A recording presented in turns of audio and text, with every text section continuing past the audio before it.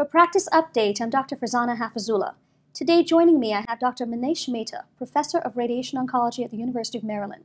Dr. Mehta, thank you for joining us today. It's a pleasure.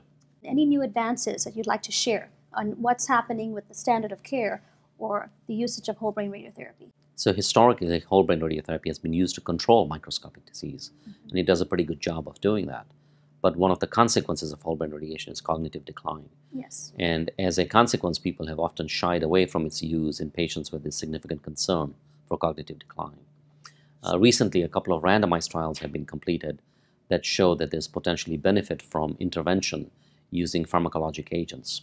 So, in one such trial conducted by the NRG Oncology Group, the use of an Alzheimer's drug, memantine, yes. together with whole brain radiotherapy, showed that the patients that received memantine had superior preservation of cognition compared to those who didn't, together with whole brain radiation. Sure, but there are so many amazing advances and a lot of scientific data still yet to come.